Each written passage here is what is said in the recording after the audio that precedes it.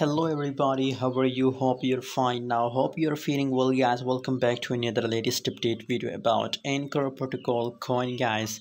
And this video I'm talking about ANC coin that what's going on, what's the price, what's the price changes occurring in ANC and guys what will be the next move of Terra, uh, Terra Classic coin also pumping and you know now due to Luna 2 coin all cryptocurrency and especially shit coins all coins are pumping in the market guys so in this video i'm talking about uh, ANC coin guys as you can see here if we see the currently last 24 hour it's a four hours price chart of Luna 2 coin.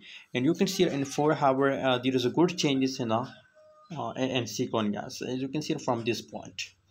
From this point you can see 14.33 percent the price up in last 24 hours. So it's another massive news that 14 percent the price pump and if we draw uh, if we do a technical analysis so i think just uh, right now they are making a trend line yes can see here. Now pause if they move upward guys so in this situation i recommend for my audience that open a long position and there is a big pump coming in ANC coin if they complete this trend line guys if they complete this trend line and uh, if they break this trend line guys in this situation now again they are dumping in the market. So in this situation if you're a future trader so i recommend that open a short position guys by the way what's your opinion about ANC coin please share in the comment box. And guys don't forget to subscribe my youtube channel for more latest news and update videos